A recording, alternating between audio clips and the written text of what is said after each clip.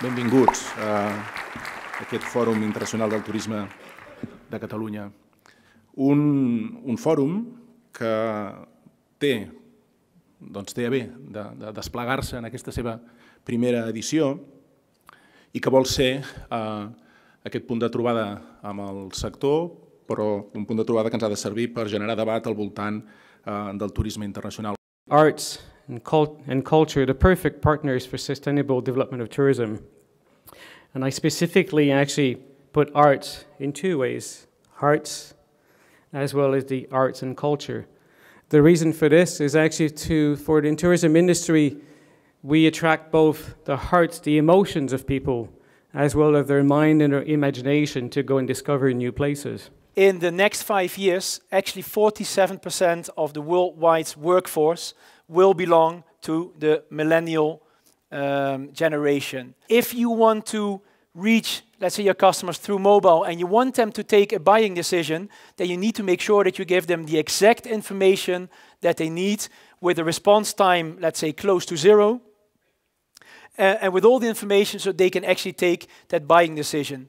Because mobile conversion did go up. So although, let's say, our mobile use usage has gone down in terms of time that we spend in each session, the conversion has gone up. So clearly, as an industry, we are being able, let's say, to give the right information at the right time through the mobile, and that's something we need to keep on working going forward.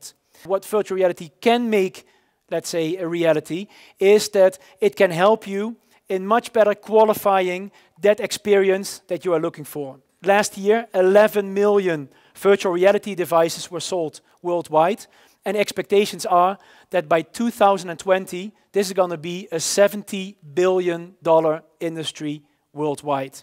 And again, not to replace travel, but really to help us to make even better informed decisions on where do we want to travel to. We need a transformation of a big system, namely the global travel and tourism system, which doesn't know when to stop.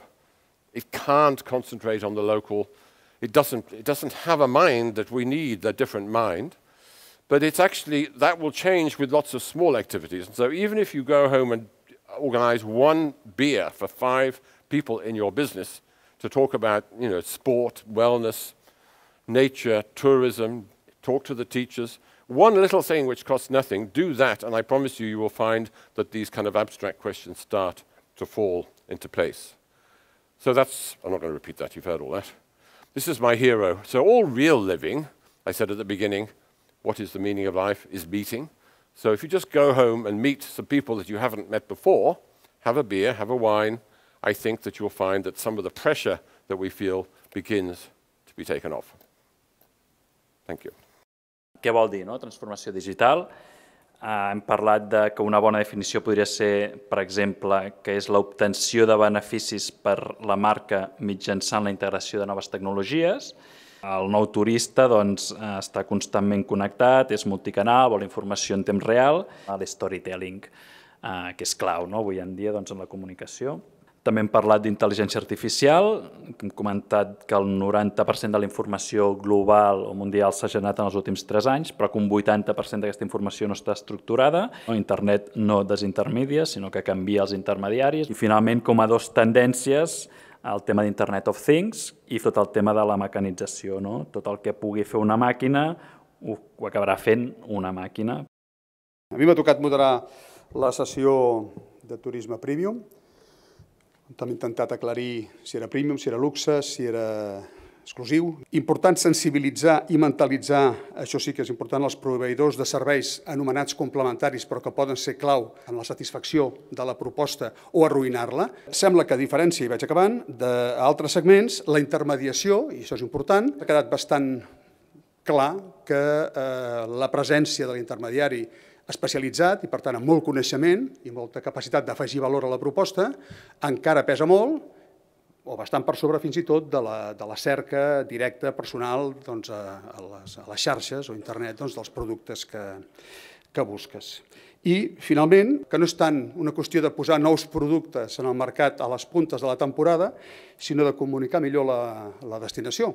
Any del turisme cultural, 2018, ha estat eh, el tema de referència de la, de la, bueno, d'una de les taules del, del, del segon torn de taules rodones serà el motiu, l'eix central i troncal de l'activitat promocional i també estructural de la política turística 2018 i per això, amb aquest repte de posicionar la cultura com un element de referència, de singularització de la nostra destinació, preguntàvem als eh, panelistes de la taula doncs, què valoraven en aquest cas el turisme asiàtic d'aquesta cultura. Eh, han parlat molt de la gastronomia, curiosament més de la gastronomia que d'altres aspectes de la cultura. S'ha parlat de valors, d'autenticitat, de diversitat, S'ha parlat de storytelling, s'ha parlat de la necessitat de generar experiències i experiències memorables. Hem de ser capaços de que l'experiència cultural, que és la més sensible de totes, no sigui doblement intermediada.